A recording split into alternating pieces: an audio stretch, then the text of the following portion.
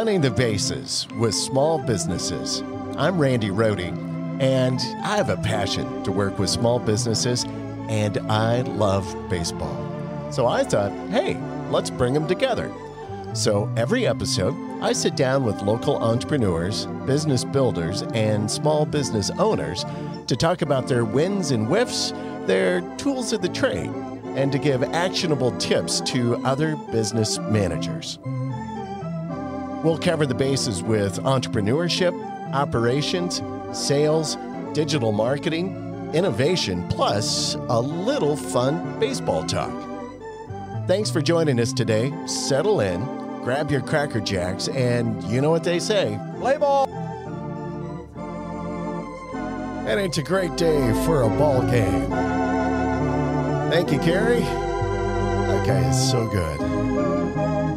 Got the little personal flair. He does it all right there. Ba-dum, ba-dum. There we go. All right. Hey, everybody, welcome uh, to another uh, episode of Running the Bases with Small Businesses. I'm Randy Rohde, and I've got a great guest today and a first in many occasions, but this guy's a, a former Fox News TV personality, is a tennis head coach, and he's also the CEO and founder of Traderman Wine Distributors right here locally in Ohio. So, Luke Taylor, welcome to the show. Thanks for having me, Randy. Yeah, yeah. And I do have to say, you know, before we get going into the show, rumor has it that you actually tried to fight a fire naked. Is that true? You got to give us the story on that before we get into your journey with Oh, Traderman Wines. Come on, come on, lay it out there. Yeah, about uh, God, what's Sammy? My middle guy is seven, so about six, about six, six and a half years ago, I had been working. I mean, was probably what five years old, uh, four years old, and as you know, when you start a small business, you're working a lot of hours, midnight, burning the midnight oil, as they say. And uh, came home from work around 11, 11.30, watched a little NBA playoffs. It was May 3rd. and my wife was pregnant. Tough pregnancy with Sam. He was kind of a mover and a shaker. And uh, two thirty in the morning, I get a yell, "Luke, get up! Luke, get up!" Didn't hear any alarms. Ran out, and at that time, I used to sleep naked, but uh, don't anymore, obviously. Uh, and uh, ran down the hall, and uh, my pregnant wife was fighting a fire, and there was a fire that was coming from outside, inside our house, in our kitchen. I got I said, you know, give me the fire extinguisher. I was I was naked, obviously. And my wife went upstairs and got our daughter, got her out of the house. I instead of spraying the uh, fire extinguisher at the fire, I sprayed it in my face because I was half asleep. so if you've ever tasted fire extinguisher, it's pretty disgusting. And uh, did nothing. Threw the fire extinguisher down, ran outside, and I was on the phone calling the police or fire department nine one one. My wife looks at me, she's like, "Look, you better go back inside and get some clothes on." So I ran back inside of the burning house and got clothes. And uh, yeah, so you know, uh-huh. it's just you know when when you own a business, it's the same thing, right? You just d- do what you got to do. Oh my gosh, that is great. That is a great story. And a first, I I don't know if I've uh, heard of anybody uh, ever a story like that. That is good. Yeah, it happened. Well, I'm glad everything is okay and you've recovered and nothing, uh, no serious bodily harm. I think my wife has mental scars, but other than that, we're good. right. Well, listen. So, as I said, you are a first on many friends for us. You are the first guest that has actually come and brought me a beverage, and of course, your Traderman wine. You distribute wines, and you brought me a bottle of wine. I, I, if I had a opener, we would cork it and and and have fun with this. But tell us about Traderman wines. Uh, You've been going strong for ten years now. Tell us all about it. What do you do? How do you do it? For sure. So we're uh, based out of Stow. The last 10 years, we've been voted best wine distributor in Stow.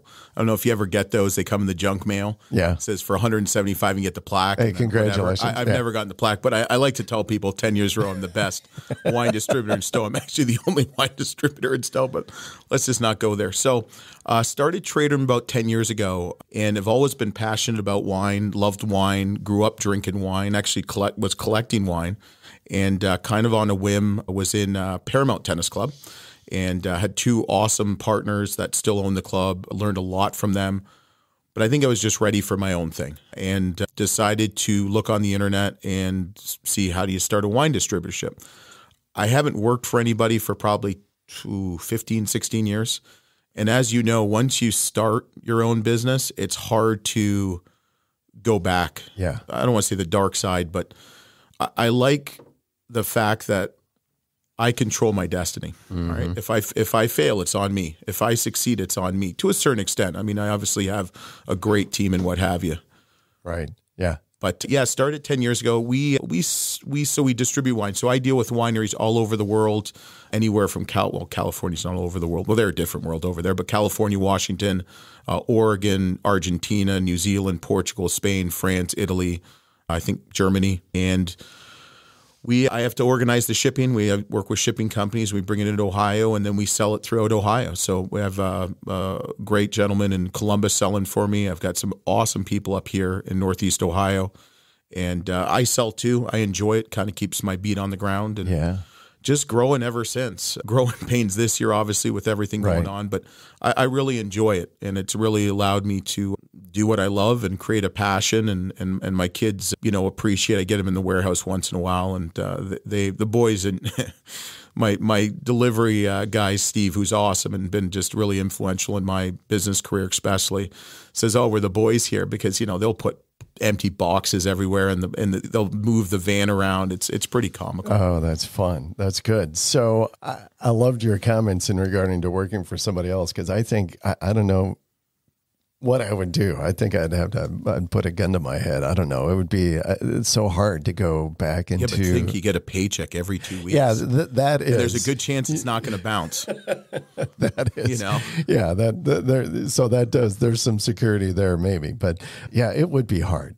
Yeah, that would be a challenge. So you're a long way from like premium wine country, even though I know that there's actually some pretty decent wines here in Northeast Ohio. They've gotten better. Yeah, but when people think about wine, they really don't think about Ohio all that much. And you know, you're a long ways away. How does a how does a guy from and I I, I do pick up a little tinge of a Canadian accent in and. Uh, Shocker. right? Am I right? Oh yeah, for sure. Born and raised, baby. There you go.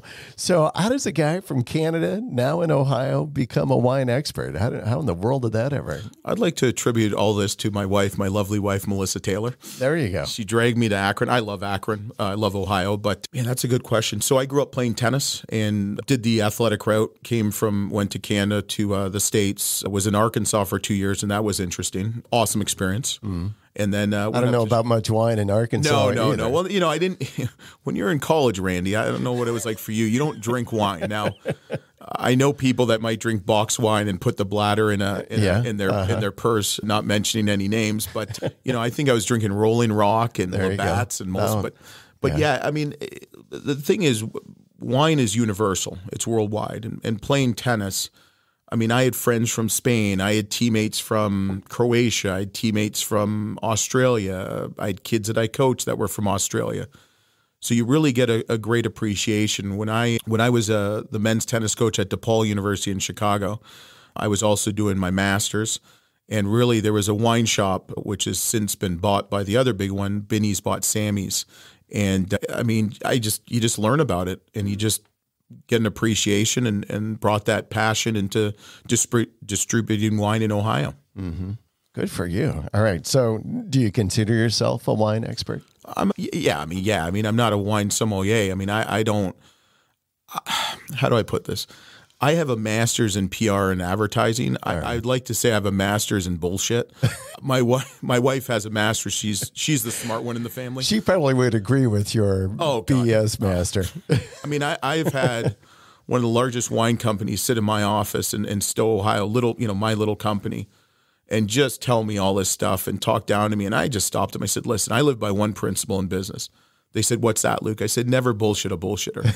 and that changed the accord. But it's, it's, I- I can, I don't make up lies. I don't, but I love stories. And I, and I think I'm a decent storyteller that, you know, I know enough what I need to know and, and what have you. And it's, it's, you know, I, I know a lot about wine, yes, but I'm, I'm, I'm, I'll never get the certification. I've got a lot of respect. I know Larry O'Brien, who's the only master somm in, in Ohio. I mean, he knows his stuff. Yeah. I think I tell better stories, but he knows his stuff. I love Larry. though. All right, so I'm just going to put you to the test here. Sure. So, my favorite, if I'm going out to a restaurant, or if I'm like, and actually, we just did this the other night at our house as well. But you know, we do this every once in a while. So, make my favorite meal, which is I like to get a nice steak and cut maybe, and do a little grilled asparagus along with that. Worst wine to pair with with Yeah. So asparagus. so give me so give me that's what I'm going to test you with. So give me a good wine that'll go with my favorite meal. Well, get rid of the asparagus first of all. asparagus is like the worst wine or worst food to pair with wine because of the chemicals or, or what have you in it. But a good piece of beef, though. What do you Well, think? I a mean, good, Cabernet. good mean, you can't go wrong with a Cabernet. Yeah. I mean, let's be honest. Uh, red blend, uh, Petite Sirah, Zinfandel. I mean, I'd go with a Cabernet though. Nice, Mm-hmm. Yeah. big, juicy, bold, Yeah. nice tannin um, Yeah. Cabernet. Nice, big, bold, something with a bite. That's that's what I think. All right. Well, But that's you- good. but- that's what I do. But you know what? If you like uh, rosé, I mean, I don't know what it tastes like with steak, but you know, whatever. Is that going to go with the asparagus? Nothing's good with asparagus. Maybe a little bit of butter. All right. So, how do you stay on top of the wine world and the wine industry out here in Ohio? Drink more. Just drink more. You know, oh, the, that's a good theory. well, the, I like the- that. well, the best thing I've ever, one of the best things I've ever been taught from the professionals. I mean, a lot of these suppliers I work with are now good friends of mine over the years. And they said the best learnings in the glass is just drinking. yeah. You know, I think me also selling, I've got, a, I probably have 50 accounts personally that I sell to. So I kind of know what's going on in the street. You know, if business is good, what's bad, what's moving, what, who's, you know, mm-hmm. what winery might be moving, distributors. So we're a franchise state in Ohio. So when you sign that contract, when when I order that wine for the first time and I get it, we're in a contract. And a winery can't just leave me. They have, you know, we have to. Sometimes some have paid me to, to leave. Some have, you know, we've agreed. It, it hasn't happened much. It's maybe happened three times. Right. And you know, they're, uh, listen. If you're good, if you're good to me, I'll be good to you. Right. I mean, it's it's like anything. It's all relationships. You know, before we move on to some other stuff, I, I really would, and I think maybe the folks in our audience might enjoy as well. e- Explain how the whole alcohol or, or you know wine industry works in Ohio? Because I know it's different even uh, distribution from state to state and I know Ohio because it's a state controlled how does it work and how do you, how does it work for you as a distributor I guess? Well, it's Ohio's a little bit different. It's a lot like Michigan. We're probably a little bit uh, nicer in Ohio than Michigan, though I am a. see you just scored points in all the Buckeye fans so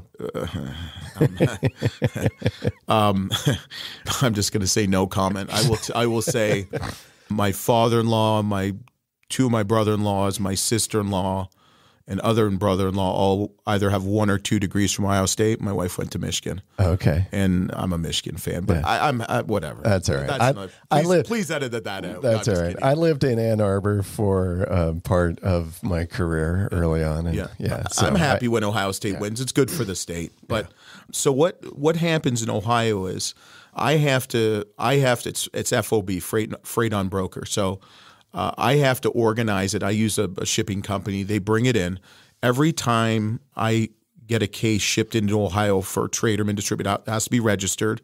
Uh, the winery usually covers all the licensing and stuff like that. And then every time, whether I sell that case or not, I have to pay taxes on it.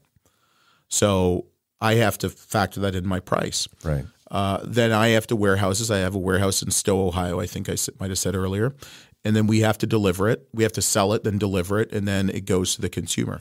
So we have in in Ohio, we have minimum markup on the retailer and also um, uh, wholesaler too. So our prices are always going to be a little bit higher in, in, in Ohio than say Illinois, where it's kind of a wheel and deal. No, I don't want to say wheel and deal, but they they can do their own pricing Okay. but it's good because in it's good and bad. It it's is it great for the consumer? Is it better for me? Yes and no because now being a smaller company, I have a little bit of protection and what have you. So it's it kind of just is what it is. It is what it is. is all what right. it is. All right. Well, thanks for opening that up. So you've been doing this for a while and you've have done some I don't know. I mean, you're an entrepreneur, and so you've kind of created some other side businesses and activities kind of coming off of that as well. So I know you've got you do uh, like a consultancy and travel um, yep. kinds of things. That's really that's really good right now with the with everything going on. yeah, no, no. Yeah, so I uh, take groups out to Napa, Sonoma, and and I've got all the i mean even if i don't sell the wineries or not i've got the connections and what have you i've got chefs and you know, I'm, I'm pretty much your butler for the week. So I've done a couple. Oh, that's uh, of those. that sounds couple, fun. Yeah, quite a few of those. Yeah. Um, but that's not happening this year. Right. There's just too much going on. And I also know you've got uh, a podcast um, that's out now called mm-hmm. Cork and Taylor. Yes. I understand. You just told me earlier here you've got a, a new podcast um, called the Cork and Fork that is coming out here mm-hmm. soon. So you you've got your hands in a lot of different stuff. Tell me about the podcast for right now. Anyway, why did you start Cork and Taylor? And I was probably bored. You know, I think when you have when you have a, a business, you're always looking to grow, right? You're always looking to expand it's not like you're trying to make more money, but you just want to be financially healthy.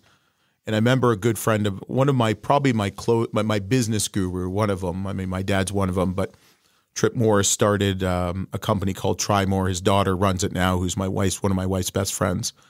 And I remember him telling me he's given me some great advice. He helped me with Paramount, and he said, if you're not growing, you're dying. And I think in this day and age, and we talked a little bit off air about why you did this and, and what have you, is to create the brand, is to, or not create, but increase the brand, the visibility. I've got the connections. I have the background in, I guess, TV and uh, TV and radio. Did that in my my previous career, and I just wine's a little bit stuffy. And I'm not a stuffy person, if you know me. I'm actually wearing pants. This is the first time I've probably worn pants. Thank you. Two weeks. I mean, I even showered and shaved for you, Randy. Brushed my teeth, even used mouthwash. Yeah. But you know, with this pandemic, it, it, you know, my business got hit pretty hard, and people sure. are like, "Oh, really?" Well, I don't sell a lot to the grocery stores. You know, we do some nice business with Acme. We do a little bit with Buehler's, a little bit with Giant Eagle. I mean, Acme's been has been really good through all this, knowing the family and just great family. But I, I miss a tinge of the radio and TV and I figured, well, I, I know about wine supposedly, and I know a lot of people, and I've got some really good guests. It's been a challenge uh, mm. with some of the uh, audio acoustics in, in California.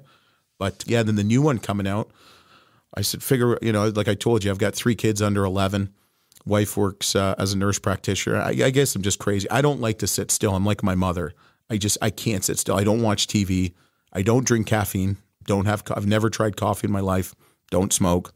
I play golf and hang out with my kids and my wife and work. Yeah. So, and, and you, you do what you love. And if you love something, and all these, you, I remember you were asking, you're kind of got your hands in all these different things. They're all related. They're right, all wine right. related. So, so far, so so far so good, I guess. Wow, good for you. All right, well, that's pretty exciting stuff. All right, so now it is the. Uh, do you know what time it is, Luke? And it's time for the seventh inning stretch.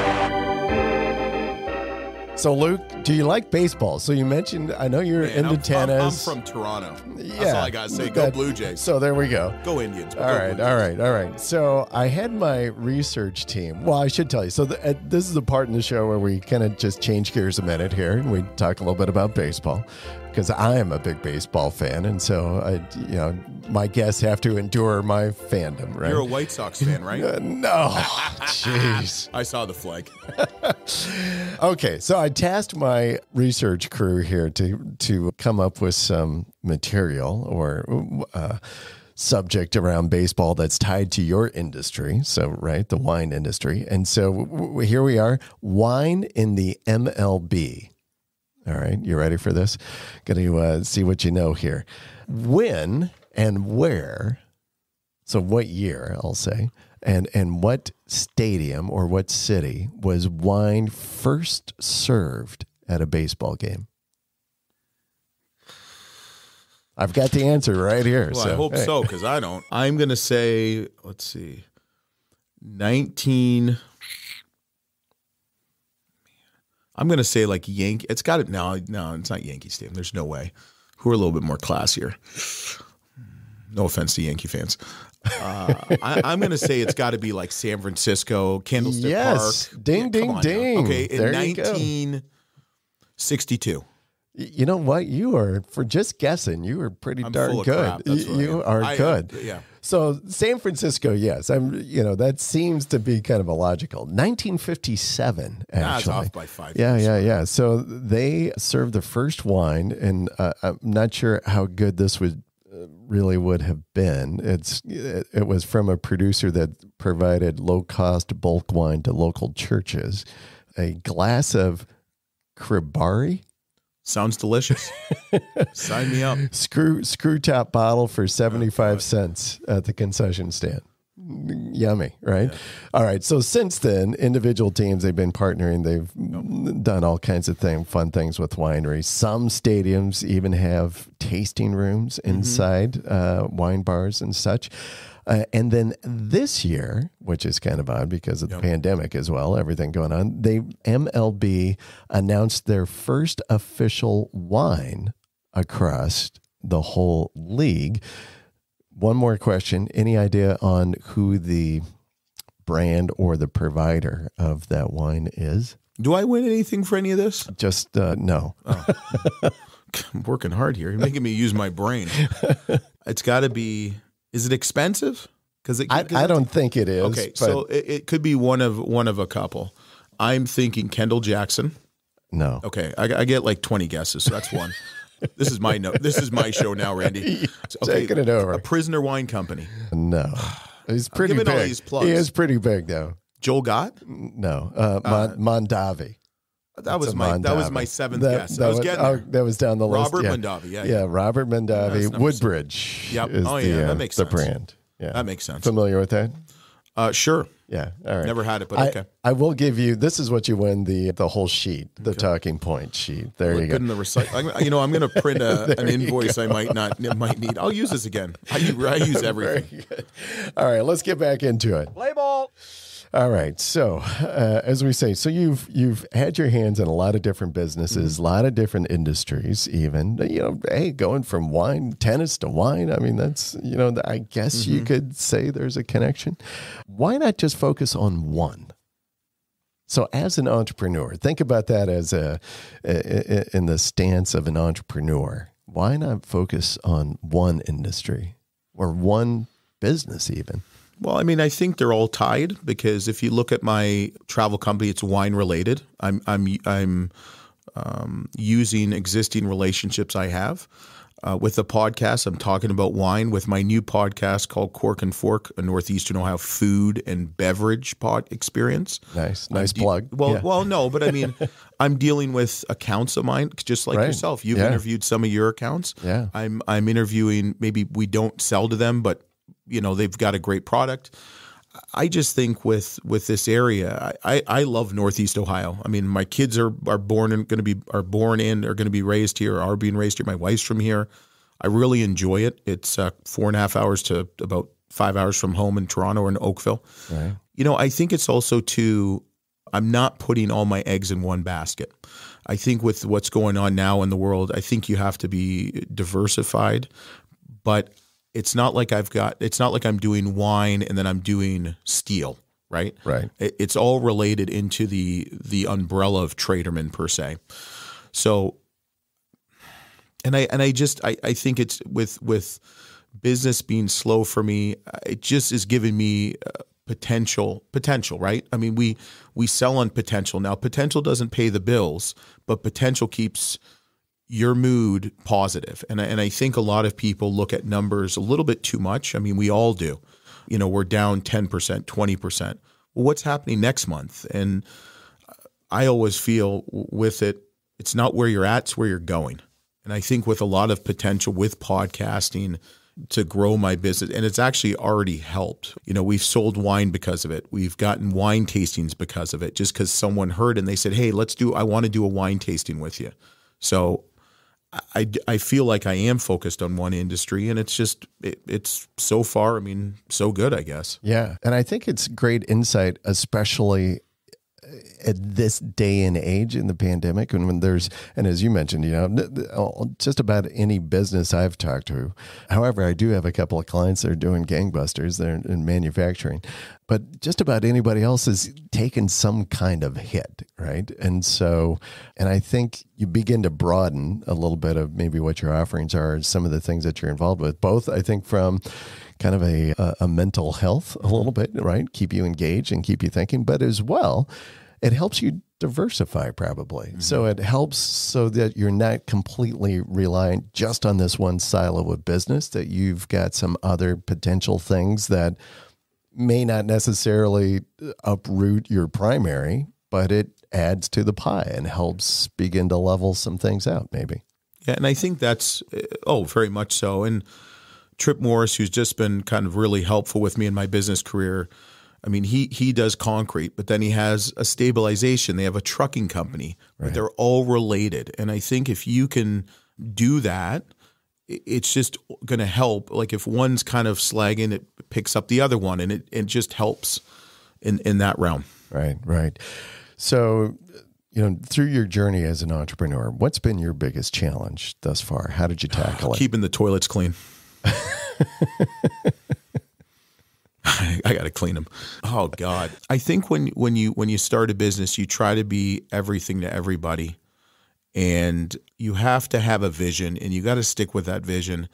I tried to grow too fast with Traderman, probably in the year three, four, and five, and that really, I mean, you know, I didn't. I was selling. I was. I, I was picking up. I was doing more inventory, but I wasn't selling more. So there's something wrong with it. I think it's just stick stick to your guns. Time. I, I always feel. I mean, when you own a business, you never have enough time in the day. Another tra- challenge I think too was trying to balance. I've got kids who I just love and adore, and a wife who I love and adore, and it's trying to balance that, and also trying to keep when you go home, your dad and your you know right. you know husband and and and father, and it's like just trying to, and I think I've done a better job. I think you need to interview my wife because I think I'm wonderful. Let's be honest, but, but I, I, think it's the balance, right? I think right. every entrepreneur can tell you is balance, and you have to take care of yourself. I'm, I'm I stress eat, and it's it's always going to be a challenge for me, and and especially this year. Whew, right. I mean, so I think there's a lot of challenges. I mean, we could have a whole couple episodes. Yeah, you know, uh, one just on, stress, on challenges. Yeah, you know, two on financial health. I mean, yeah. oh, let's go. Yeah, it is hard, and it's been a, a difficult time. I mean, you and, went and, through it. You're going through it too. Uh, I mean, absolutely. I mean, yeah, and we've, you know, unfortunately, it seems like about every ten years or so, we kind of go through some of these big. Don't say that. You know, and don't say so. That. hopefully, we won't have those for a while anyway. Right. So thinking uh, throughout ten years, but so you've been operating now, Traderman Wines, mm-hmm. for 10 years. 2010. Yeah. Um, looking back over those years, anything that you can think of that you would have done differently at this point? Probably never started it. No, I'm just kidding. Gosh. I, I, man, that's that's that's kind of a tough question. What would I do differently? I would probably not have brought so many brands on initially, like in the middle. I, I think the middle was the toughest challenge. I, I brought a sales manager who's, you know, did a pretty good job, but did I really need it kind of thing? Mm. And I don't. So um, not now. I think that's the biggest thing is is trying to, you know, eh, what's what is it? The tortoise tortoise in the hare, right? You know, slow and steady, right? I, I think there's no. I think we all get caught up on. I'm going to grow. I'm going to grow. I'm going to grow. I want to make more money. I want to make more money. But just because you're selling more doesn't mean you're making more. Because the more you sell, especially in distribution, you know, you have overhead, you have warehouse costs, you have delivery costs, you have vans, you have inventory. And just because I might sell another five hundred thousand dollars or a million or a hundred thousand doesn't mean I'm going to make any more money. Right. And I think the bigger for my business, the bigger I wanted to get, the more headache. And I, and you got to have a balance. I mean, I have friends that own companies that have 250 people and they handle it well. I have friends that have five people companies and you know they don't have that balance. So mm. it really doesn't. I've got friends that have 50 people yeah. and they they can balance it. So I think and don't compare yourself to other people too. I mean, if you like what you do and you love what you're doing, it might not be now. It's not where you're at. It's where you're going. And if you see the vision, keep your head down and just keep trucking.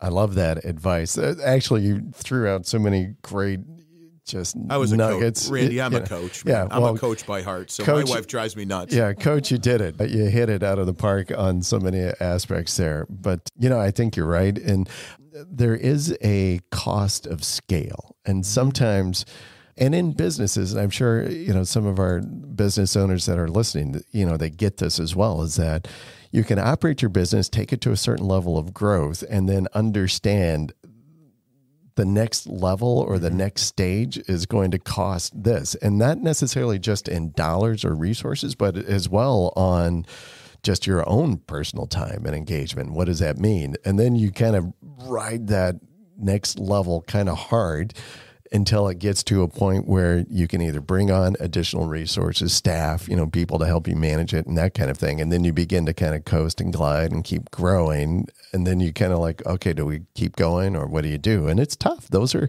very difficult conversations to have kind of that you have internally right with mm-hmm. with yourself yeah so that's good but i love you know stay true stay true to the vision stay true to where you want to I, go and I think the biggest thing is, and I say this to my my kids, and it you know probably I mean I, I'm a coach at heart. You know I played high level athletics, and, and I tell my kids, and I and my wife hears and it drives her nuts probably, and I live by this thing. There's never any problems. There's only solutions. People, especially in business, they worry. I feel they worry too much about the problem, and they don't spend enough time with the solution. And I think that's the best advice I could probably ever give. Don't worry about the problem, figure out a solution. Perfect example. Last week, you never have those weeks where it just keeps going and going. I only played golf once, which even my wife says I'm not really playing much golf, which I just want to put that on the air. and I agreed with her.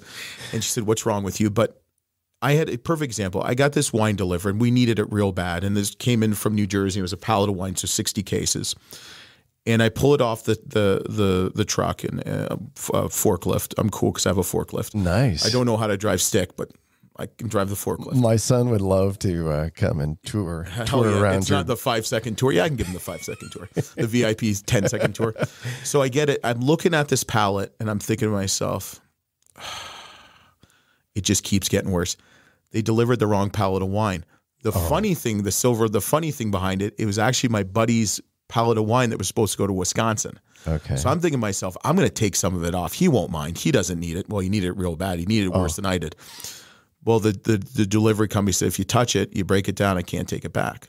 So I had to take it back, and it's just, you know, that's the frustrating part, right? Yeah. I mean, we all have, right but I'm like, well, what am I going to do? So you get on the phone, you call them. I got the wine the next day, and it, it somewhat worked out. good so you focused on the solution instead of the problem Attitude and effort. yeah My you kids go. know it. The Yeah. two things you can control every day is your attitude and your effort. When you wake up in the morning, you don't think yourself, "Man, Randy, I'm going to have a shitty day," right? I mean, I, I felt like that last week, and I and Yeah. I finally said to myself on Monday, "I'm going to have a good day." You know what?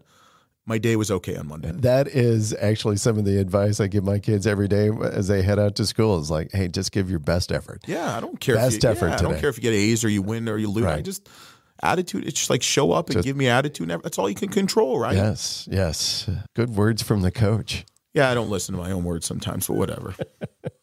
So, uh, aside from some of the stuff that you do from podcasting, what else do you do? How do you can you market? What do you do as a distributor? How do you market wine, yeah, wine. Traderman Um, wines? Well, it's interesting because I am a distributor and I've got about 30 awesome, about five awesome suppliers. And I got about another 25 I hate, but no, I've got like, I've got 30 probably really good partners. okay, And it's interesting because we can't really advertise like with by law because of the, the liquor laws. Right. At least I, that's what I tell myself.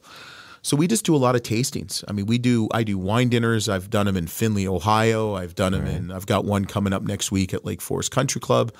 And I mean, that's the biggest way in glass pours. You know, we try to get on restaurant lists because then people try and then they try to find out where they buy it and stuff like that. And uh, that's really the best way I can tell you. I, I work with a lot of boutique small wineries, Laird out of Napa, Keenan out of Napa, uh, Meadowcroft out of Sonoma.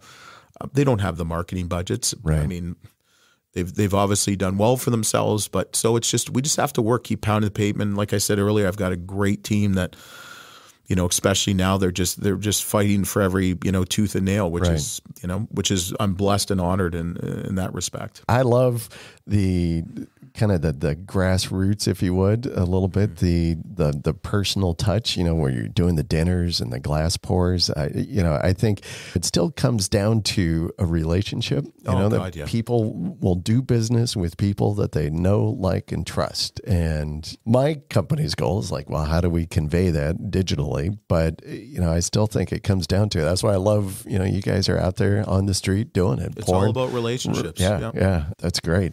Where do you see the company in the next three years? What, what's the? Three uh, years. And I'm not even saying long term, but you know that is kind of long term, I suppose. years, but what's God. the strategy? Seems like forever. Well, let's see. I want to play more golf. no, let's see. You know, it's like I'll never forget my first really ever job interview was with my with my news, my first boss, my news director at KFXA, KFXB in Cedar Rapids, Dubuque. I was a general assignment reporter, uh, sports director on air for Fox, and he said, "Where do you see yourself in five years?" And I said, "Mr. Bond, I just want to dance." and he looked at me and he actually hired me. So so three years, man, I, I I really just want to keep dancing, to be honest with you. And what does that mean? I want to keep doing what I'm doing, just keep growing, keep trying to just put one foot forward over the next one and hopefully not keep going backwards. I'm hoping the podcast will help, especially the local one, the Cork and Fork. Oh man, my kids are too young, so they can't really take it over. Three years, man. Can we talk like 30 years? I'll still be working at 30 years. I, I just, I, it's the wait and see approach. I, I don't know what's going to happen tomorrow. Uh, Right. let's be honest. The only thing I can control is today. And if I can just, you know, be careful, tight is right right now. I mean, um, everybody thinks you got to cut, cut, cut, cut, cut. I think you got to make um, smart decisions. I really want to control inventory, you know, control pricing, just look at everything. And, and hopefully we're just going to get out bigger and stronger. When when when we started the tennis club in 2005, Paramount Tennis Club, we had Medina, we built another one in Westlake. 2005, what was 2008? yeah, hey, believe me, I, And- I and- lived through that one yeah, too. And, and I will tell you, we were up every year, and I and I think they still are. And and I I learned so much from Jim and Sarah Balzerini, who who continue to own it, and and and and I think you just it doesn't. It's the attitude and effort, and it's just it's not where you're at; it's where you're going. And I think in three years, I, I'm hoping our sales will be back. Or, I mean, we were having our best year up until about March 16th, and then you know we're on a hike and heard the news that they're closing all the restaurants down. That kind of stung, but it is what it is. So Yeah. just trying to keep plugging away. Just have great partners, have great people I work with, and just keep plugging away. That's all I can do. Yeah. Yeah. I can't. Tomorrow's not promised. There you go. It's just today, really.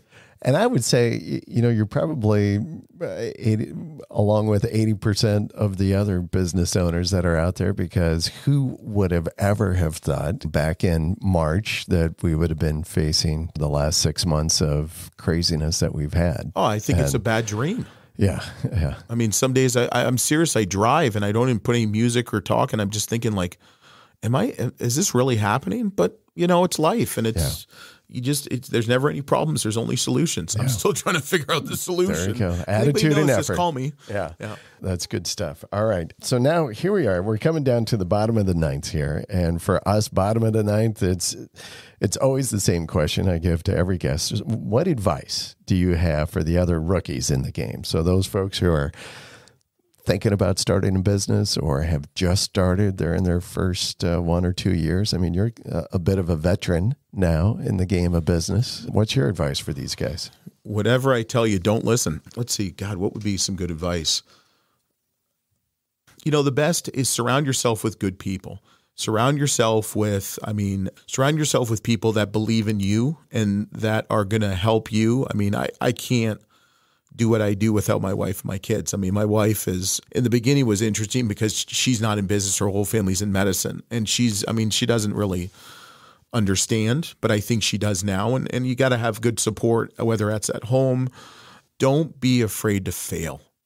We all look at it like we're going to, we're scared to fail. And I think that's why a lot of people don't do what they do. They talk like I was always raised by my parents who were awesome. They said, you know, the people that talk don't do, and the people that do don't talk. And don't be afraid to fail. I mean, it's okay. I mean, you look at Abraham Lincoln. Didn't he fail three times? And then he became president. Was it that Abraham Lincoln? At, at least, yeah. yeah. Then he got assassinated. So I don't know if that's a good uh, good thing. But uh, just do what you love, and if you believe in it and you feel, my dad would always say it's like gambling. Only gamble with your, I guess, comfortable with losing. So, you know, do all the research, but trust your gut. I mean, I, mm. my whole life I've been told I couldn't do it. Like someone told me with the tennis club, "Oh, you're crazy for doing it." Or, you know, I started this business. Only I only had two contacts in the wine industry, and one of them told me a restaurateur is a friend of mine said to me, "You're crazy." I'm like, "Are you are you serious? A restaurateur is telling me I'm crazy? You own a restaurant." And I think it's just believe in yourself. And today is not tomorrow, and it's not next week, and it's it's not where you're at; it's where you're going. And you know, be be smart about it. So Nice, nice. who knows? What do I know? Great words of advice. People can connect with you, tradermanwines.com. Mm-hmm. Yep. Right. Also look for you, I'm assuming, on all of the the platforms for Yeah. Cork, Cork and Taylor. Cork and Taylor The and s- yep. podcast. And then coming out soon. Yep. When's the launch date for the new one? Uh, I think August, either August 31st. We're gonna have a promo out, I think, next week, and then it'll probably be beginning end of August, beginning of September. And it's uh, it will the website will be out next week. www.corkandforkneo.com, and it's Cork and Fork and uh, Cork and Taylor's. You know, so we've still got to get that going. go. So yeah, All right. Well, that Appreciate is uh, that's great stuff. And hey, that's the ball game. Thanks for uh, being with us, Luke. Appreciate it. I appreciate it, Randy. Yeah, Thanks it's for been having a, me. been a lot of fun. And for our audience, hey, thanks for joining us today. And if you liked our show, please tell your friends, uh, subscribe on any of your favorite platforms, and we'd always love your review. We'd really appreciate it. And as we say around here, we'll see you around the ballpark. Running the Bases with Small Businesses is brought to you by 38 Digital Market, a digital marketing agency committed to client growth with lead generation, higher conversions, and increased sales. Connect with us today at 38digitalmarket.com.